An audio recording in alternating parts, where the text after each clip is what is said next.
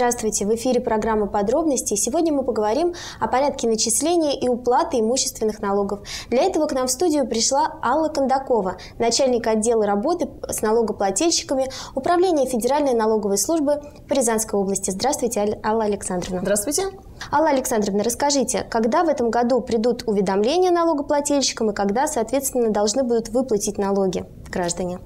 Ну, я хочу отметить, что в этом году налоговыми органами Рязанской области, впрочем, как и в прошлом году, проведена большая работа по формированию налоговых уведомлений на уплату имущественных налогов, а именно земельного налога, транспортного налога и налога на имущество физических лиц. Значит, эта э, работа завершилась э, формированием 696 тысяч вот таких налоговых уведомлений, которые получат э, налогоплательщики в июле-августе этого года. Но я хочу отметить, что э, традиционно формированием занимаются налоговые органы. Печать осуществляется федеральным казенным учреждением э, филиала ФНС России в Нижнем Новгороде ФКУ налогсервис. И Рассылка, соответственно, осуществляется силами Почты России. Поэтому налогоплательщики, получив конверт с налоговым уведомлением, не должны удивляться, что там будет э, оттиск с городом Нижний Новгород. То есть это абсолютно нормальная рабочая ситуация. Э, теперь, когда надо оплатить? А, соответственно, у нас в соответствии с законодательством налоговые органы обязаны направить налогоплательщику уведомления и платежные документы на уплату налога не позднее 30 дней до срока наступления платежа. У нас в этом году, напомню, единый срок уплаты всех имущественных налогов – это 1 октября. Ну, э, в любом случае, уже в июле-августе рязанцы получат уведомление. Рекомендую не откладывать э, на потом процедуру оплаты, лучше уж действительно оплатить и спокойно ехать в отпуск, да, заниматься своими делами, сами, зная, что все свои обязательства перед государством уже выполнены. Поэтому времени, в общем-то, осталось э, не так много. А кто вообще начисляет сумму э, налога? Э, налогоплательщик или налоговый орган? Э, я сразу хочу сказать, что это обязанность э, налоговых органов. То есть в соответствии с э, налоговым кодексом именно налоговые органы исчисляют сумму имущественных платежей, да, формируют, да, и, соответственно, налогоплательщику остается только получить документ и осуществить его оплату. Вот, собственно, такая простая обязанность у наших владельцев имущества. Какие вообще сведения может почерпнуть гражданин из налогового уведомления? Но я хочу, во-первых, отметить, что в этом году у нас э, изменена форма налогового уведомления. Э, в конце прошлого года утверждена новая форма приказом Федеральной налоговой службы. И в этом году рязанцы уже получат именно, э, так сказать, обновленный вариант налогового уведомления. Ну, принципиальных, я считаю, для налогоплательщика изменений не так много. Так же, как и в прошлом году, что увидит налогоплательщик, посмотрев налоговое уведомление. Это налоговый период, за который уплата осуществляется налога, налоговая база, Значит, если это земельный участок, это э, кадастровая стоимость земельного участка. Если это э, квартира, да, то это э, в этом году это инвентаризационная стоимость квартиры, имущества. Да. Если это транспортные средства, то, соответственно, это количество лошадиных сил, которые имеет транспортное средство. Вот. Кроме того, увидит ставку налога, которая применяется в данном случае, увидит долю в праве, увидит информацию о налоговых льготах, если таковые имеются. Но здесь я хочу обратить внимание, если налогоплательщик полностью освобождается от уплаты налога, то уведомление он по этому налогу не получит. Если же он освобождается частично, то тогда в графе сумма, налог, э, значит, да, сумма налоговых э, льгот он как раз и увидит э, ту сумму налога, которую он не уплачивает. И кроме того, значит, естественно, если есть переплата и задолженность, то налогоплательщик также увидит это в уведомлении. Поэтому я рекомендую рязанцам все-таки внимательно изучить этот документ, и, как правило, ряд вопросов, которые возникают сначала, да, при внимательном прочтении налогового уведомления, просто снимаются. А что делать, если гражданин, э, налогоплательщик, не согласен с теми сведениями, которые он увидел э, в налоговом уведомлении? Ну, такая ситуация тоже возможна. В этом случае необходимо э, оперативно сообщить в налоговую инспекцию по месту формирования налогового уведомления, да, что есть вот какие-то несогласия с теми объектами налогообложения или с характеристиками объектов налогообложения, которые содержатся в налоговом уведомлении. Я хочу здесь напомнить, что э, налог на имущество физических лиц за квартиры, дома, строения и так далее. Да? И земельный налог, они уплачиваются по месту нахождения имущества, а вот транспортный налог по месту жительства автовладельца. Поэтому и обращаться, соответственно, нужно в тот налоговый орган, который формировал уведомление. Да? То есть либо по месту жительства, если не согласны с какими-то сведениями по транспортному налогу и с уведомлением, соответственно, да? вот, либо по месту нахождения квартиры, дома, дачи или э, земельного участка. То есть э, самое главное – это обратиться в налоговую инспекцию. Но сделать это можно, в принципе, э, несколькими способами. Бесконтактно, через сайт налог.ру. Есть возможность обратиться, не выходя из дома. Да?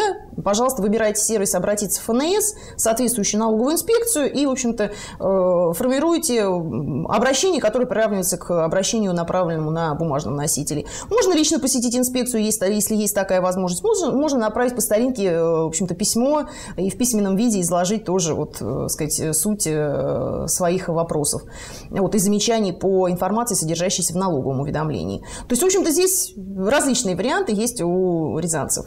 Вы сказали о льготах для налогоплательщиков. Как вообще налогоплательщик может узнать о том, что он относится к льготной категории? Очень хороший вопрос, потому что действительно очень много звонков у нас раздается и по справочным телефонам, и налоговых инспекций управления.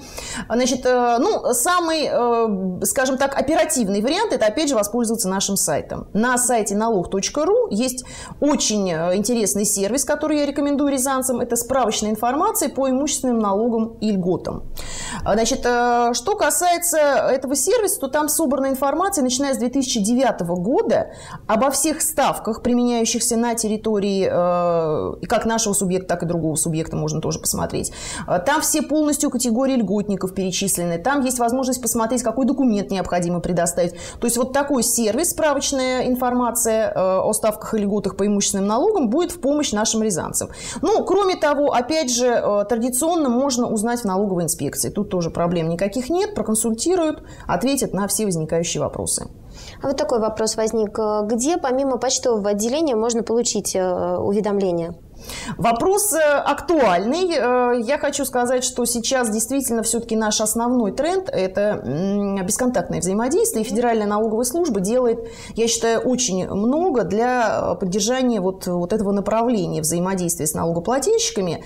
Те, кто не имеет возможности ходить по э, инспекциям, да, по налоговым инспекциям, кто не имеет вообще возможности даже сказать, отследить свои вот эти налоговые обязательства, да, всем им я рекомендую воспользоваться пользоваться личным кабинетом. Вот в личном кабинете налогоплательщика для физических лиц, это наш сервис, э, также расположенный на сайте, доступный на сайте налог.ру, есть возможность э, буквально двумя кликами сформировать платежный документ, налоговое уведомление, то есть полный комплект документов, который направляется по почте. Причем я хочу сказать, что в личном кабинете налогоплательщик увидит и уведомление, и э, платежный документ значительно раньше, чем он получит его по почте. Угу. То есть это очень удобно. А, может быть, еще какие-то изменения произошли, например, в порядке начисления имущественных налогов или выплаты их? Да, действительно стоит обратить внимание, наверное, наших телезрителей на то, что в этом году, во-первых, мы уплачиваем э, налоги на имущество за 2014 год, угу. и э, ряд изменений как федерального законодательства, так и регионального законодательства, конечно же, оказывает влияние на те суммы налогов, которые увидит налогоплательщик в уведомлении. Да? Ну, в первую очередь, какие изменения, на какие изменения хотелось бы обратить внимание.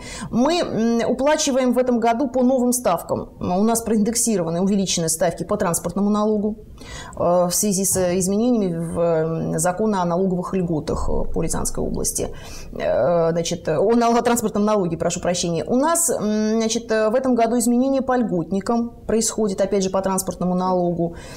Хочу обратить внимание, что вот за 2014 год у нас две льготные категории, которые традиционно не уплачивали транспортный налог, это пенсионеры и инвалиды всех категорий.